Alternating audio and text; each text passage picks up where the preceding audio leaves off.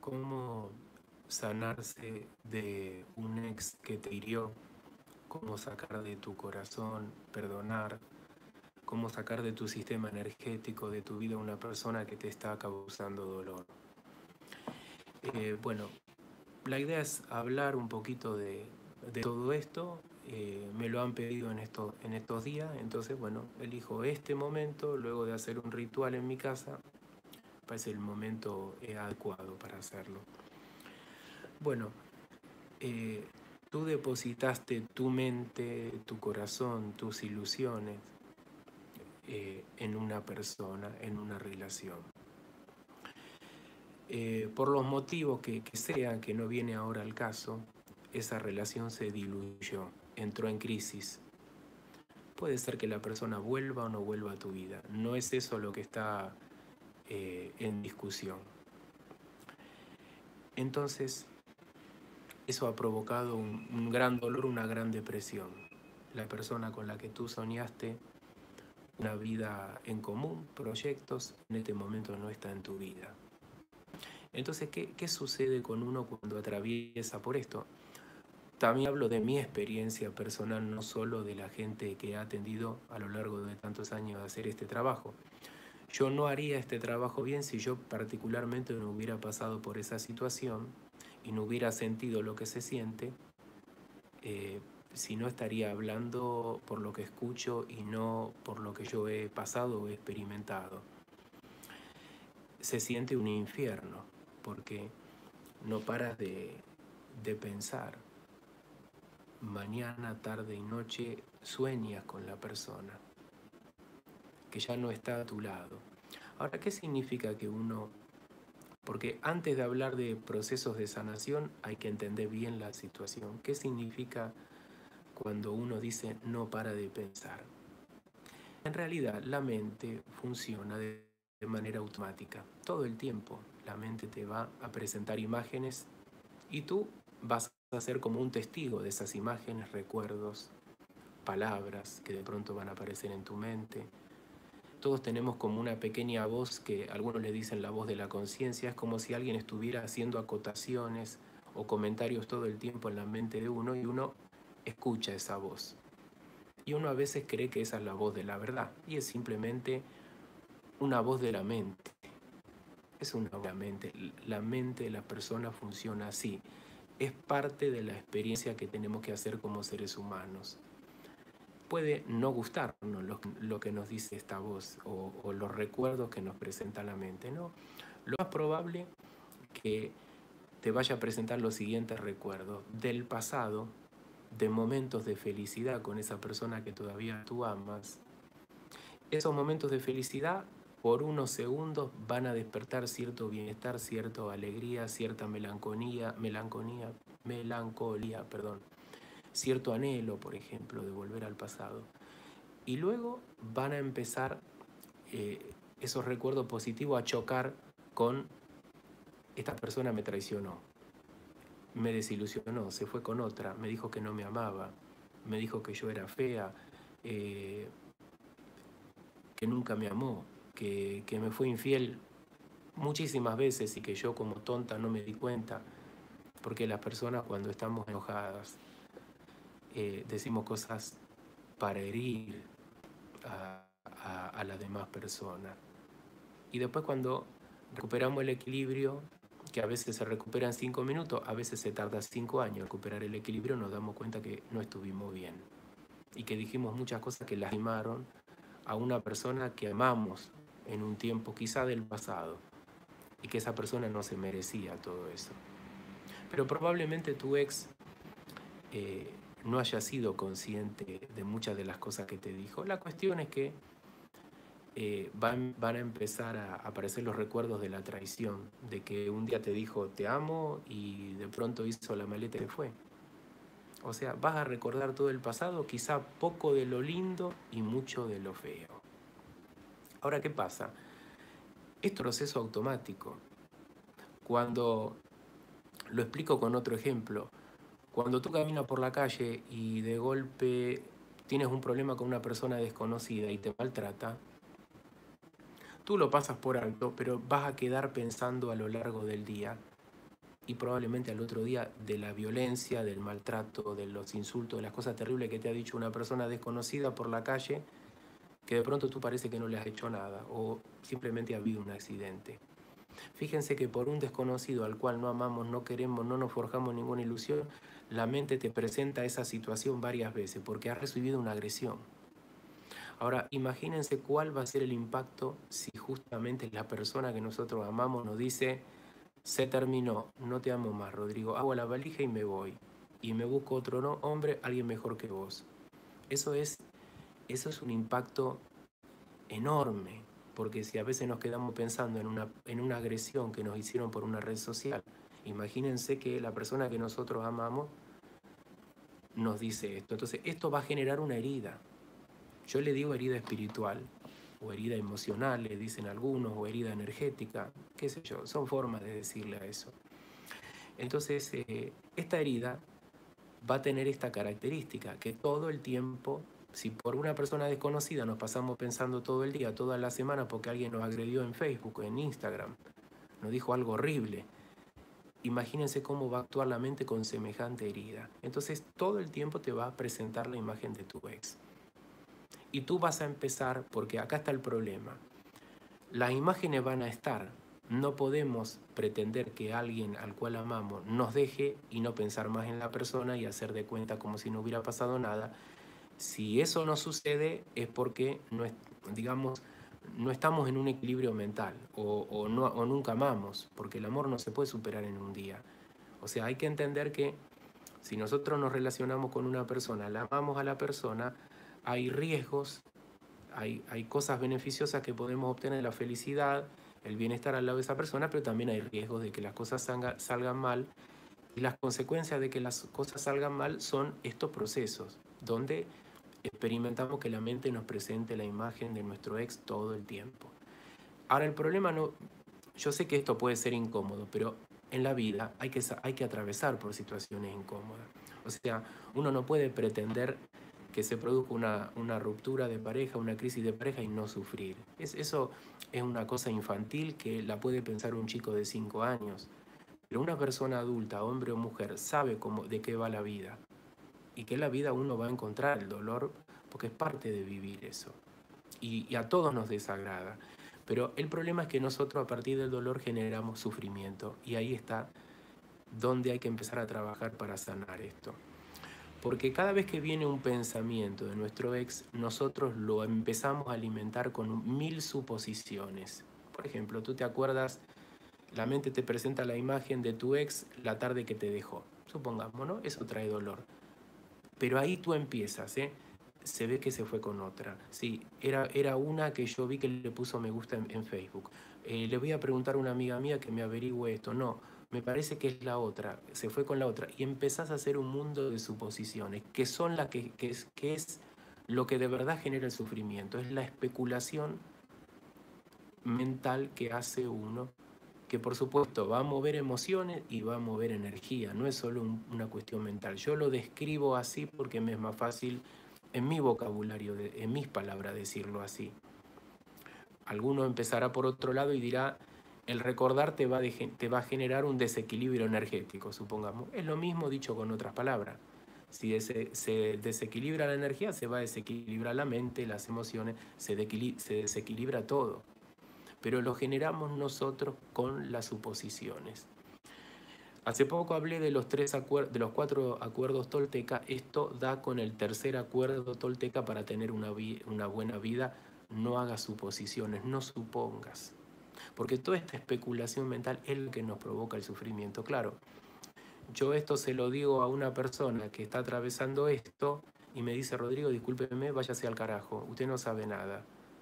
Es esa persona la que me generó el sufrimiento. No, te lo está generando tú. La persona esa te, está bien, puede ser que se haya comportado mal, que te haya traído mucho dolor, pero tú eliges qué actitud toma frente al dolor, frente a la traición, frente a la desilusión.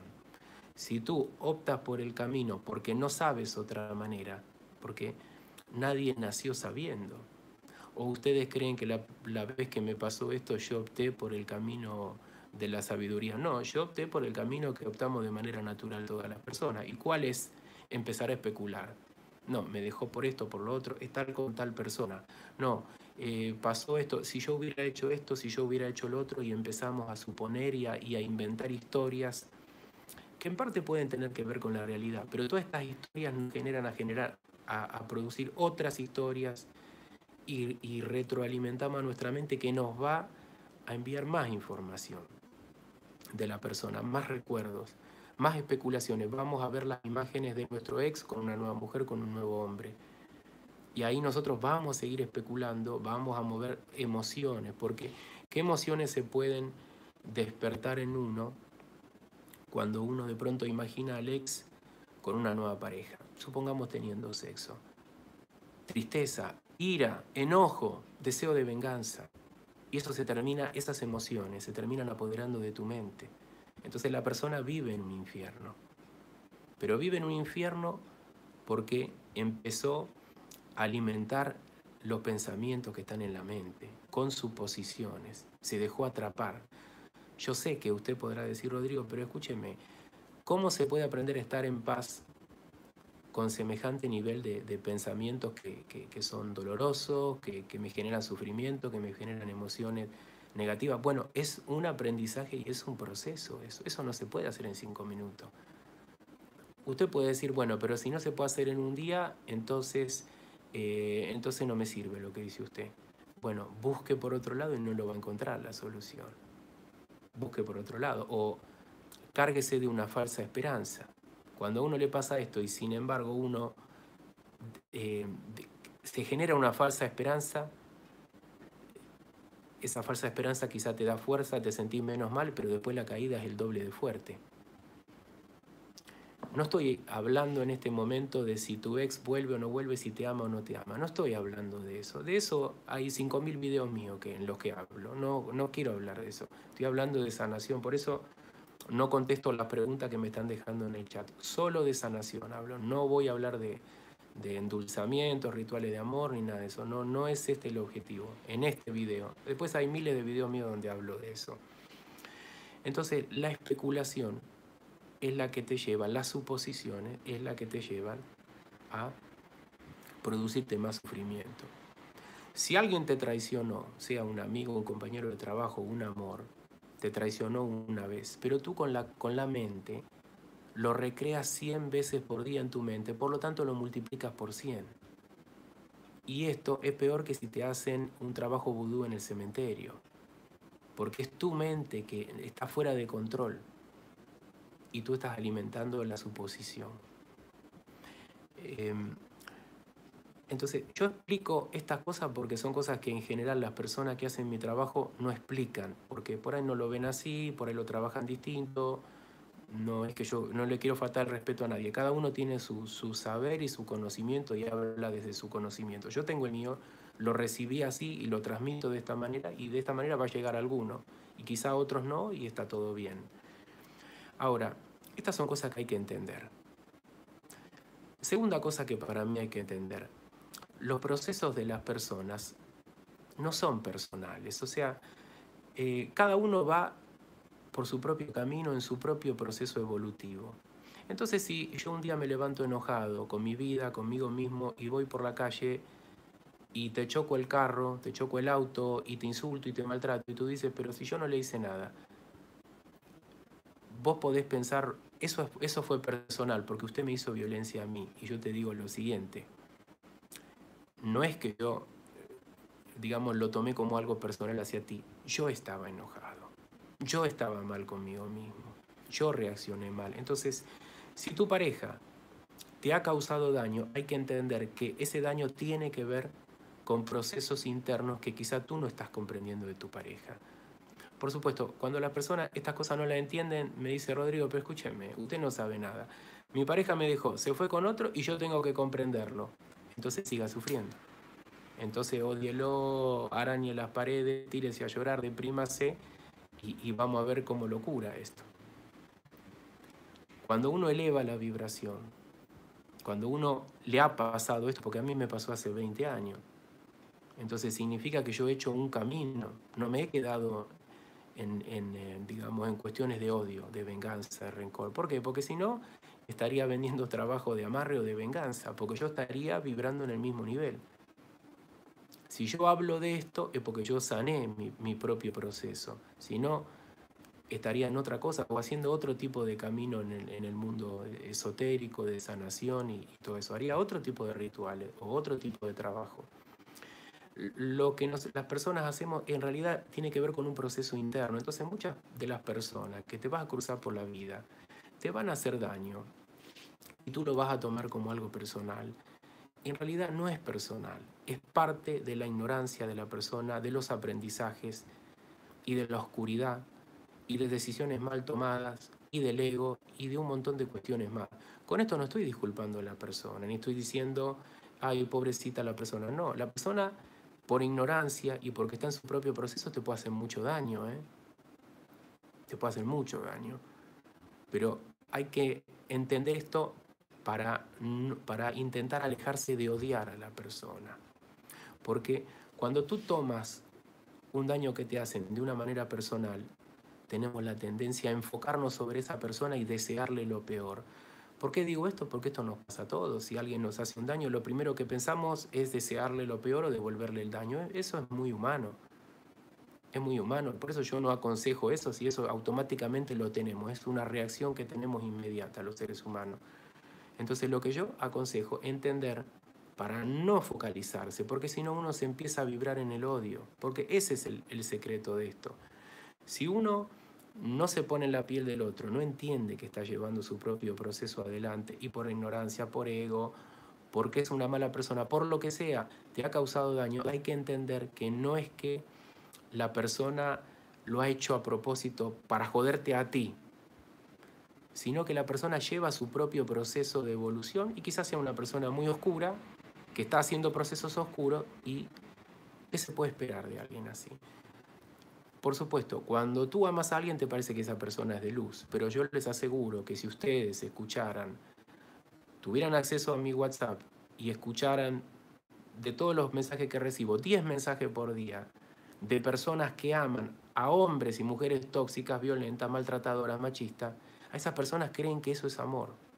Están convencidas de que aman a la persona y que la conocen, pero no la conocen.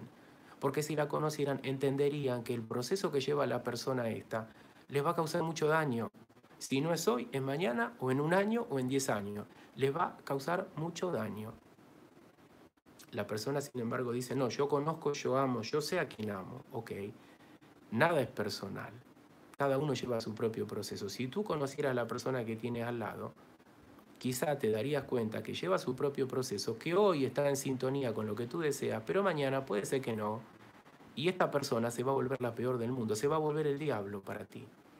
Entonces, segundo acuerdo tolteca, nada es personal.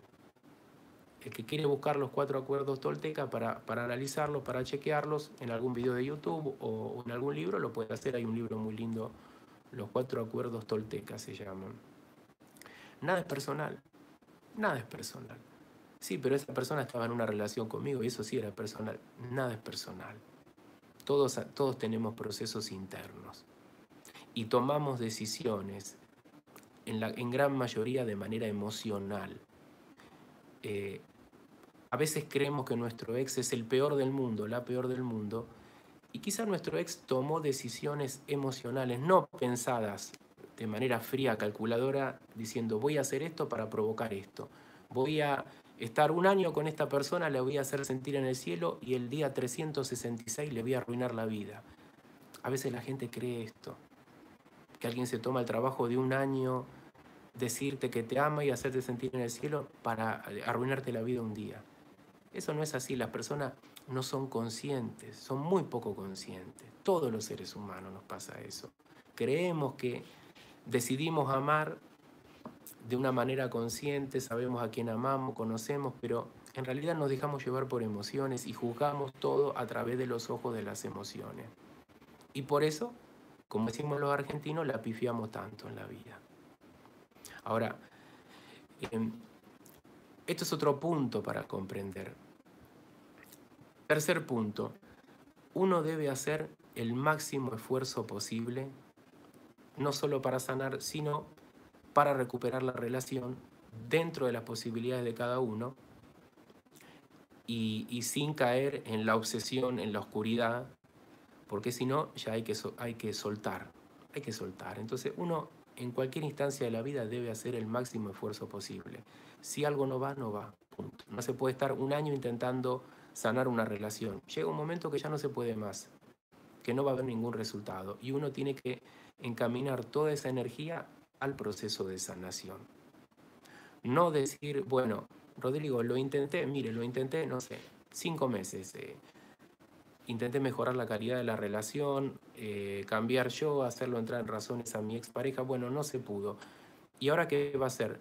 Y no, ahora la verdad es que lo dejo en manos de Dios. Que es lo mismo que decir nada. Ah, o sea, vos pusiste todo el esfuerzo en intentar recuperar la relación, que la relación sea saludable, no se pudo y qué esfuerzo, qué energía, qué voluntad pones en sanarte ninguna. Decís, lo dejo en manos del universo, dejo que pase el tiempo. Entonces después las personas, cuando están en, en esa situación, no la pasan bien y más adelante, cuando conectan con otra persona, probablemente vuelven a aflorar los miedos, las inseguridades que ha provocado esta ruptura que no se ha sanado, que, donde no se ha puesto la energía adecuada para sanar. Entonces lo que tú hoy crees que está superado porque lo bloqueas, te vuelve a aparecer en seis meses, en un año, en cinco años y en diez años. Por eso después de, no sé, tres, cuatro años, conoces a alguien, empiezas una relación y dices, no sé por qué me siento inseguro de esta relación, no me puedo enamorar, eh, siento que me va a abandonar, siento que no merezco el amor. ¿Y de dónde creen que viene eso? Esto viene de que uno no se ha sentido amado, no se ha sentido protegido, no se ha sentido acompañado, etcétera, etcétera. Entonces hay que hacer, el, el tercer punto es que hay que hacer, sea cual sea la instancia donde uno esté en la vida, el mejor esfuerzo posible. Es fundamental, tanto para sanarse como para recuperar a la pareja. Eh, algunos brujos, algunos eh, sanadores, la gente que está en la autoayuda, ven, ven la cuestión de intentar recuperar a la pareja como algo de baja vibración, porque muchas personas que hacen este tipo de trabajo se dedican, em, digamos, a la parte más espiritual, más metafísica, y en definitiva todos vamos a pasar por estos lugares de desamor, de desilusión, y, no hay que creerse nadie más que nadie. Pero muchos, muchas personas van a decir, no, si usted quiere sanar eso, tiene que hacer... Eh, no sé, determinada meditación. Y puede que no encaje contigo. Sí, pero esta meditación se consigue la iluminación en tal o cual religión, pero quizás estamos hablando de cosas más terrenas para sanar dolores que todos experimentamos y, hay que intentar adaptarse eh, para ayudar a las personas en, cosas eh, que, que, nos pasan a todos, que algunos, por eso, algunas personas que están en la sanación, en la meditación, consideran como de baja vibración este tipo de trabajo ¿qué hago yo? Pero en definitiva, eh, a ver, el ser humano es, eh, a todos nos pasa esto, todos pasamos por estas instancias. Y a veces estamos, hay personas que están montadas desde su ego diciendo lo que tiene alta vibración y lo que tiene baja vibración. Y esto es ayudar a sanar a las personas, facilitar el proceso de sanación. Estés donde tú estés, sea cual sea la situación en la que tú estés si estás abajo, si estás arriba, si estás en Europa, si estás en América, si estás en Argentina, si estás en Canadá. Si tiene buena vibración, si tiene mala, si tiene esto o lo otro. Todos vamos a, pasar por acá, en algún punto de esta vida. Y si no en esta vida, porque lo pasamos diez veces en las vidas anteriores. Eh, me fui un poco por las ramas en esto último que dije. Siguiente punto. Uno tiene que encontrar el sentido. Cuando te pasa esto, uno dice, pero ¿para qué me pasó todo esto? No entiendo. No, no entiendo. Y, ahí vienen las malas interpretaciones. ¿Qué son malas interpretaciones? Se ve que es un mal karma lo que me pasó, Rodrigo. Por eso conocí a mi alma gemela, la perdí, me siento la persona más desgraciada del mundo, entonces tengo una mala suerte, tengo un embrujo desde el vientre de mi madre, eh, estoy enterrada con el vudú, estoy enterrado, eh, tengo un salamiento, nunca voy a tener suerte, Entonces, como no tiene sentido y tú has tenido la felicidad, al parecer se ha escurrido entre los dedos de tu mano, tú, tú sientes que, que hay algo malo en ti y que por eso de manera natural todo salió mal. Entonces ahí te estás programando. Entonces todo lo que pasa, por más doloroso que sea, tiene un sentido, que uno en el momento no se lo puede encontrar, porque es muy difícil cuando uno tiene mucho dolor en, el corazón, encontrarle sentido a porque alguien que tú amas te hizo daño. Y te hizo esto y te hizo lo otro. No puede ser, pero si yo amo a esta persona. Bueno, es que hay que encontrarle un, un sentido a eso. La pista para encontrar un sentido es qué cosa buena te ha dejado esa persona. Porque si tú me dices, no me dejó nada bueno, es porque el dolor no te permite ver. Si, si tú me dices, todo, todo lo que ha hecho por mí esa persona ha sido bueno, eh, el dolor no te deja ver tampoco. Esa persona ha cruzado por tu vida y ha tenido luz y oscuridad. Puede ser que haya hecho cosas muy buenas y te te ha digamos, enseñado sobre el amor entre un hombre y una mujer, entre dos mujeres, entre dos hombres, lo que sea. Te, te ha dado un aprendizaje. Ahora te está hiriendo. Entonces ahora vos podés hacer el aprendizaje del perdón, porque ¿cómo creen que vamos a hacer el aprendizaje del perdón los seres humanos si alguien no nos lastima, si alguien no nos jode, si alguien no nos traiciona? Y alguien querido, porque si te traiciona una persona que vos no conoces y supongamos te roba dinero, por supuesto que te vas a enojar, pero no va a ser una cosa tan terrible. Ahora, otra cosa es que la persona que vos amás te traicione o vos te sientas traicionado o traicionado. Entonces, lo que, lo que va a suceder es que, es que eso nos va, eh, digamos, a hundir en el odio, en el sinsentido. Y bueno, justamente de eso hay que aprender el perdón. Si uno pasa por esa situación es porque debía aprender el perdón. O sea, Ahí tienen dos cosas que le pueden dar sentido. La persona vino a amarte y vino a enseñarte sobre el amor. Claro, no lo vas a ver esto el primer día. El primer día vas a decir, no, mi ex es un hijo de puta, me hizo esto, me hizo lo otro, Rodrigo, no, no me enseñó sobre el amor. Bueno, estamos viendo todo lo oscuro. Es, un problema de uno. A medida que uno va sanando, va poniendo las cosas en el nivel justo. O sea, tú ves a tu ex y vas a ver la luz y la oscuridad. Si tú ves todo luz o toda oscuridad, no lo estás viendo. No lo estás viendo segunda, segunda situación que le da sentido, el perdón. Si uno pasa por esto es porque necesitaba el aprendizaje del perdón. Usted puede enojarse conmigo y decir, pero ¿y dónde sacó eso? ¿Y por qué es así? Porque es así. Al menos yo lo creo así. Cada uno lo puede creer a su manera. Pero la cuestión es que usted, así no lo crea como yo, tiene que encontrarle un sentido a lo que le pasó. Porque si no, si esto que le pasó no tiene sentido y fue todo malo, y todo pasa por casualidad, se va a quedar con la herida abierta toda la vida. Como cuando uno recibe una agresión y uno no hizo nada, uno se queda herido, porque no entiende por qué la otra persona te agredió. Bueno, quizá hay que darle un sentido justamente para aprender a sanar. Tal persona me conectó, no sé, con el amor. Eh, me gustaría dar un ejemplo que es es bastante común. Muchas personas luego de separarse están solas un tiempo y, se sienten apagadas y se sienten tristes, entonces llega un gran amor, que está un tiempo corto en tu vida, pero fue muy intenso y luego la relación se deshizo, en menos de un año, supongamos. La persona dice, pero escúcheme, no tiene sentido, yo venía de una ruptura, estuve un año solo, supongamos, ¿no? Conocí a esta persona, Pensé que esta era en mi alma gemela, la persona para toda la vida y a los seis meses se fue. Bueno, ok, pero quizá esa persona que cruzó ese tiempo corto por tu vida es una persona que venía a enseñarte que vos eh, podés ser amada o amado, que vos podés volver a enamorarte. Es una persona que te ayudó a reconectarte, que te ayudó en la reconexión. Permiso, voy a abrir para ver lo, lo que han escrito en el chat porque no lo, no lo puedo ver desde el teléfono. Bueno, no sé qué pasa que no, estoy pudiendo ver el... Bueno, no importa. Hola, ¿cómo te va, Lupe? Entonces, siempre hay que encontrarle un sentido a lo que pasa. Así sea un, un, pequeño amor que cruza por tu vida y es fuerte y parece como un huracán, un vendaval que da vuelta a tu vida y al poco tiempo se va. Bueno, es una persona que quizá te reconectó eh, con sentir que vos podés amar, que podés ser amada o amado, que podés seducir, eh, te volviste a reconectar sexualmente con alguien, volviste a hacer el amor después de, no sé, a veces muchos años, a veces muchos años. Entonces es importante darle sentido al dolor. Si no, uno se queda con que pasó porque pasó, o, el destino está contra mí, o mala suerte, o vudú, o, me hicieron esto o lo otro, y uno se empieza a programar. De tal manera que la vida parece no tener sentido y estos golpes, si los recibiste una vez sin sentido, lo vas a recibir diez veces más. Entonces es más difícil que, eh, creer que todo va a salir bien. Es más difícil.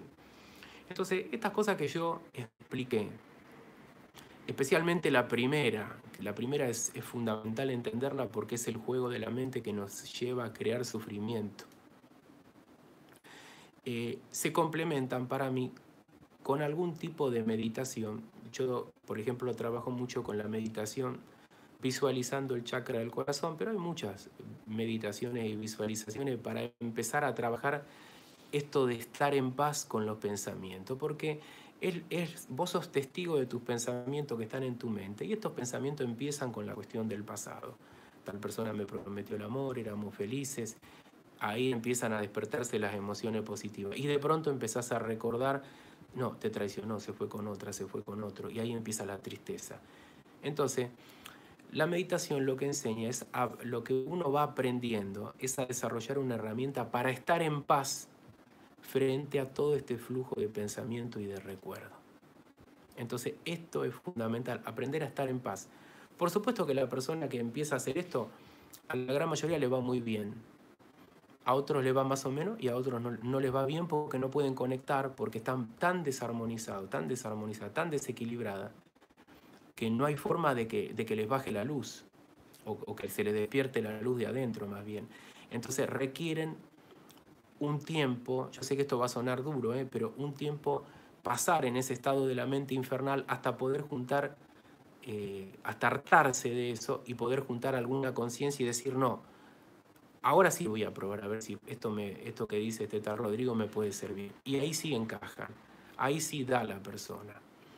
Por supuesto que esto, según la persona que haga esto, puede ser eh, trabajado eh, también con rituales, limpiezas, mantras, los mantras son muy efectivos. Lo que pasa es que yo me doy cuenta que las personas les cuesta tener, porque cuesta mucho la voluntad cuando uno está así, cuesta mucho, yo lo entiendo, pero si tiene que hacer una serie de mantras, supongamos tres días, mantra es una palabra o una frase que aunque uno no la entienda, la repetición hace que la mente se sintonice, se equilibre, se equilibre la energía. Todo esto de lo que estoy hablando no es solo una cuestión psicológica, es una cuestión energética, es una cuestión espiritual, es una cuestión emocional, están todos los niveles mezclados. Entonces cuando yo hablo de los pensamientos, no es que solo hablo de los pensamientos, el pensamiento es energía. Y cuando vivimos en ese estado infernal de la mente, nuestra energía está caótica. Entonces muchas veces vamos a una lectura de, energía, no sé, maestro de Reiki, sanador, brujo, chamán, santero cubano, lo que sea que tenemos cerca y, accesible según nuestro país, nuestra creencia, nuestra, digamos, conexión con todo esto, y damos con personas que cuando van a captar nuestra energía, la van a captar desarmonizada, entonces van a decir es brujería. Y eso es el principio de la ignorancia en todo esto. Por supuesto que, que hay brujería eso yo lo digo, claro que sí, que hay malas energías, que hay entidades y un montón de cuestiones así. Pero la gran mayoría de la gente no tiene ese problema. El problema de la desarmonía de la, energía tiene que ver con todo este proceso que vengo explicando yo, que le sucede sistemáticamente a muchísimas personas todos los días, de las que yo atiendo. Las menos son las que de verdad, aparte de todo esto, tienen alguna cuestión de una entidad o de una energía, de un trabajo. Porque no es o una cosa o la otra. En general, cuando hay brujería también pasa todo esto que digo yo. ¿Por qué? Porque la brujería desarmoniza todo.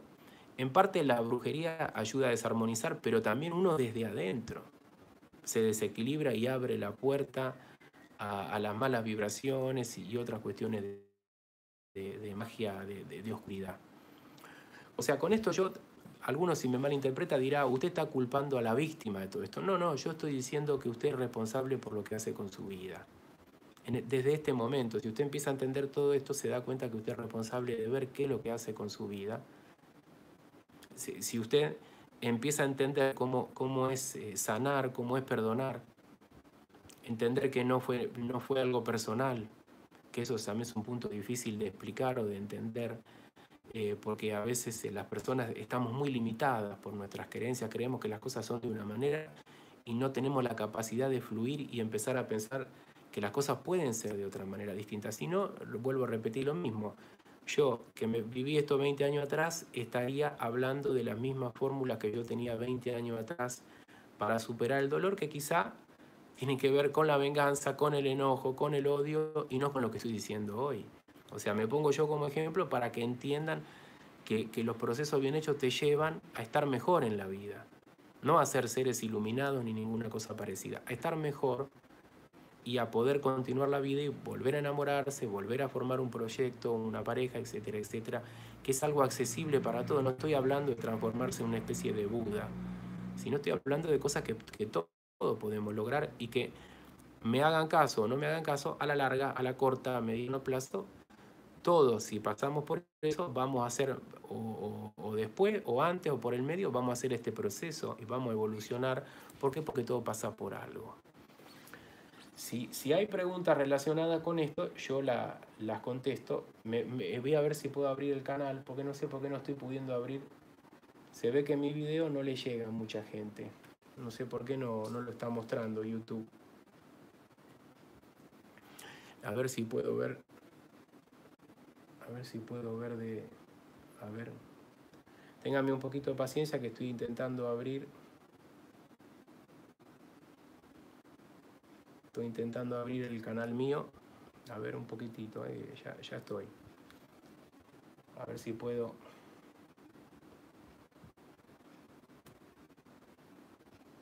Si me quieren dejar alguna pregunta, yo la, la voy a responder. Te pido un minuto de paciencia.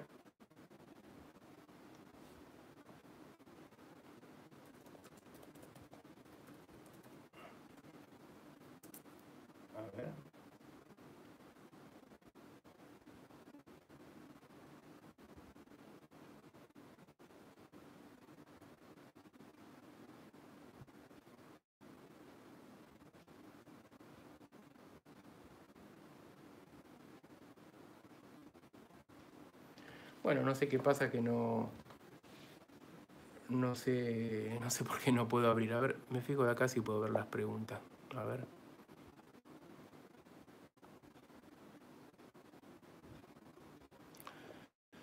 ¿Será que, eh, ¿Será que supere a mi ex solo por no buscarlo? Eh, me pregunta una persona si entendí bien la pregunta. Solo por no buscar no se supera. Yo entiendo que cuando vos decís superar te referís a sanar. No me gusta la palabra superar a mí, ni tampoco olvidar. La gente cuando dice no quiero olvidar a mi ex, no, olvidar no es, sanar. Olvidar significa como que vos te olvidás, pero va a estar, está dentro tuyo la persona. La, la falta de sanación sigue estando y te va a volver a aparecer en el futuro. No, hay que hacer determinado proceso que yo te sugiero que no mires el video, que capaz que te puede servir algo. A ver las preguntas. Bueno, no hay mucho. Hola, ¿cómo te va? Espero que estés bien, eh, eh, Lupe, que hace rato que no te, no te veo por acá. Agustina, Lorena. Bueno, bueno, simplemente era decir esto, si no hay preguntas. Acabo de descubrir que, hay otra persona que tiene, se llama igual que yo el canal, Don Maravilloso también. Eh, recién lo acabo de descubrir. bueno, Simplemente era esto, mañana sigo hablando con el tema y voy a desarrollar un poco las meditaciones a las cuales me refiero para sanar eh, eh, una relación con un ex.